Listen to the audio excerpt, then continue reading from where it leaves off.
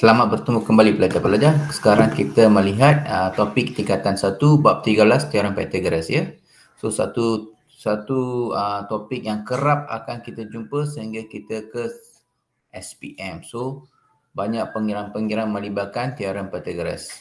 Okey, apa tu teorem Pythagoras? Okey, teorem Pythagoras ni merujuk kepada segi tiga tegak atau tepat ah. Ha. Nampak sini ada suatu sudut okey melibatkan pengiran ini melibatkan satu segitiga. Okey, dan di sini adalah tegak. Okey, 90 darjah. Okey, kita ambil ini. Katakan inilah A, ini adalah C dan ini adalah B. Okey, cikgu akan letak ini sebagai C dan ini sebagai B dan ini sebagai A. Okey. Sekarang ini bahasa Inggeris access theorem Pythagoras, converse of Pythagoras theorem, hypothesis, hypotenuse, hypotenuse, theorem Pythagoras, Pythagoras theorem. Okay, itu istilah-istilah bahasa, bahasa Melayu dan bahasa Inggeris. So, merujuk kepada ini, kita akan kenalkan formula dia. Okay, cikgu akan perkenalkan formula dia. Okay, seperti kita tahu. Yang paling penting kita kena kenal pasti hypotenuse. So ingat yang paling panjang. Okay, ini yang paling panjang ialah hypotenuse. Ingat ah, sisi yang paling panjang adalah hipotenus yang bertentangan dengan sudut tepat. Okey, yang bertentangan dengan sudut tepat itu hipotenus. So, ingat kini kita labelkan dia sebagai C. Okey, kita labelkan C. A, B dengan A, B tak kisah. So, selalu kita ambil yang paling pendek kita letak sebagai A. Yang paling yang kedua panjang adalah B dan ini terpanjang. Ini terpanjang antara A, B, C, C adalah terpanjang. Okey, A dengan B tidak begitu penting sangat. So, formulanya kita kena ingat A kuasa 2 tambah B kuasa 2 sama dengan C kuasa 2. Okey, so kita boleh dapat, kita boleh tulis sebagai C kuasa 2 sama dengan A kuasa 2 tambah B kuasa 2. So, C sama dengan punca kuasa hasil tambah A kuasa 2 tambah B kuasa 2. Okey. Sekarang kita lihat soalan-soalan ni. Okey, dalam kalau ada dua gabungan segitiga. Okey, yang manakah hypotenuse? Kalau kita boleh kalau kita boleh asingkan dia, okey, kita lukis tegak so senang untuk kita melihat ini dan satu lagi di sini. Okey. Kalau kita lukis begini, okey kita nampak sini ada segitiga satu, ini kita letaknya sebagai segitiga satu dan inilah sebagai segitiga dua. Katakan ini kita letak dia sebagai satu dan ini sebagai dua. So kita labelkan dia ini at tepat dapat dia duduk ni. Ini adalah S. Ini adalah R dan ini adalah P. So ini pula tengok di sini adalah R. Okey dan di sini adalah Q dan sini adalah P. So kita letaknya sebagai yang paling panjang C, paling panjang C dan inilah A. Ini adalah B dan ini adalah A dan ini adalah B. So dengan cara ini kalau kita nampak ada dua segitiga yang telah bergabung kita asingkan. Dan lepas tu kita tulis formula dia C cos 2 sama dengan A cos 2 tambah B cos 2 ini pun sama juga C C cos 2 sama dengan A cos 2 tambah B cos 2. So langkah-langkah ini perlu dibuat oleh pelajar-pelajar sekiranya dapat soalan yang melibatkan dua segitiga bersantun.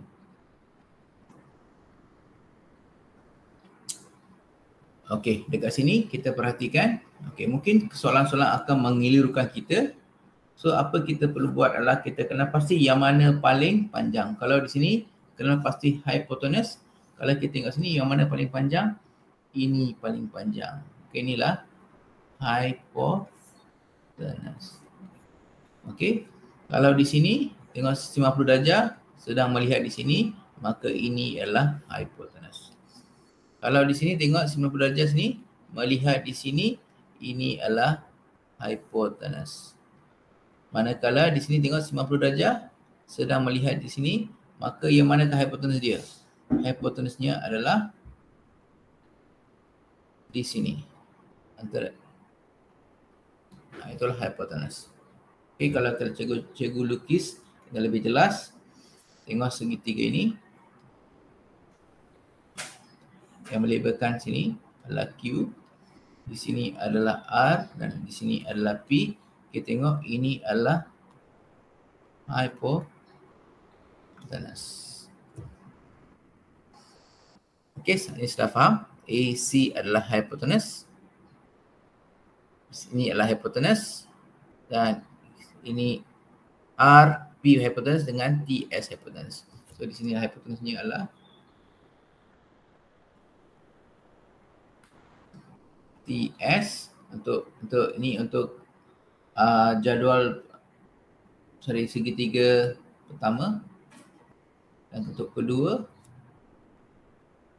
ini untuk pertama hypotenuse kedua adalah P, PR oh, ataupun RP. Okey. Sudut tegak. Okey, ingat bersudut tegak. Okey, sebagai contoh sekarang kita buat pengiraan lah. Katakan cikgu letak sini sebagai 3 dan 4. Berapakah panjang ini? Senang saja. Kita letak ini sebagai A, ini sebagai B dan paling panjangnya adalah C. So kita letak formula dia C kuasa 2 sama dengan A kuasa 2 tambah B kuasa 2. Okey. Kita tengok apakah kesilapan kesalahan pelajar. Okey. Kita tidak boleh letak 3 kuasa 2 tambah 4 kuasa 2 sama dengan 7 kuasa 2. Ini salah. Okey, ini adalah salah. Apa yang kita perlu buat adalah kita kena kembangkan ini dapat 9 tambah 16. C kuasa 2. Lepas tu C sama dengan 25. Punca kuasa 2 kita dapat 5 cm. Okay, kalau ini semua cm. Tengok unit dia. Okay, ini, ini mereka tak tulis unit. Kita tulis ni 5 saja ataupun 5 unit. Okay, ini cara dia. So, katakan kita buat contoh-contoh lain. Okay, kita ambil contoh-contoh lain. Okay, sekarang kita tengok sini ada soalan lain. Okey, kita nampak sini dia melihat di sini. Okey, maksudnya ini adalah C. So kita ambil sebagai X kuasa 2 sama dengan 12 kuasa 2 tambah 16 kuasa 2. So X kuasa 2 sama dengan 1, 4, 4 tambah dengan 16 kuasa 2. 16 kuasa 2 adalah 56. 56. Okey. X kuasa 2 sama dengan 144 sama dengan 200 200 240. Okey, so X sama dengan punca kuasa 240. Gunakan kalkulator.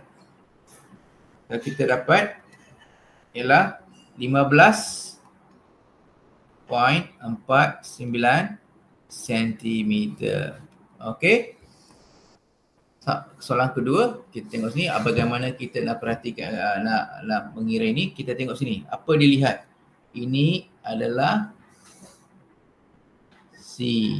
Okey, so kita dapat sini adalah kita formula dia.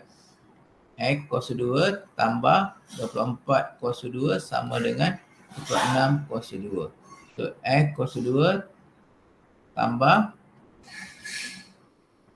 24 okey ataupun kita boleh 24 kosong 2 kita dapat sini adalah 576 576 sama dengan 26 kosong 2 adalah 676 676 so x kosong 2 sama dengan 676 ini positif pindah ke sini jadi negatif.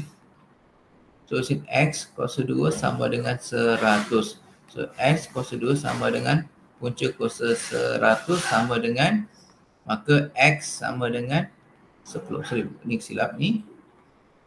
Pada sini. Okey, sama dengan 100. 10. So berapa unit dia? Kena ikut unit depan ni, sentimeter. Okey. Satu lagi soalan. Okey, kalau kita tengok perhatikan di sini. Ini adalah paling panjang tengok sudut tegak dia sudut dia melihat di sini So ini adalah C. So kita tulis sini adalah X kuasa 2 tambah 1.0 kuasa 2 sama dengan 1.2 kuasa 2. So kita boleh tulis begini juga. Satu dengan 1.2 kuasa 2 tolak 1 kuasa 2. So ini kita dapat sebagai 1.2 kuasa 2. Kita dapat ini sebagai 1.44 tolak 1.0. Okay. So inilah X kuasa 2. So X kuasa 2 sama dengan 0.44. X sama dengan punca kuasa 0.44 jadi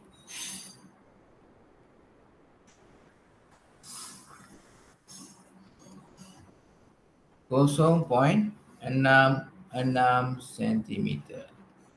Okay. Ini adalah cara-cara penggunaan teorem Pythagoras dan kita kena ingat formula ini okey? Formula teorem Pythagoras. Kerap ditanya. Okey untuk soalan terakhir. Untuk kita lihat di sini. Yang mana paling panjang dan ini adalah paling panjang. So ini adalah C. So kita tulis ni sebagai 6 kuasa 2 tambah 8 kuasa 2 sama dengan X kuasa 2 so X kuasa 2 sama dengan 36 tambah 64. X kuasa 2 sama dengan 100. So X sama dengan 10 cm. Okay. So setakat ini untuk kelas teorem Pythagoras bahagian 1 bab 13 tingkatan 1. So saya harap pelajar-pelajar dapat memahami dengan jelas tentang penggunaan teorem Pythagoras dan bagaimana untuk membuat pengiraan sekiranya ada dua segitiga bersatu. Dalam bahagian dua kita akan lihat pengiraan-pengiraan lebih kompleks yang melibatkan teorem Pythagoras. Saya berharap pelajar-pelajar mengikut uh, channel Dr. J Maha dan sila subscribe kepada channel saya supaya kita dapat menambahkan lebih baik uh, video-video seterusnya. Terima kasih.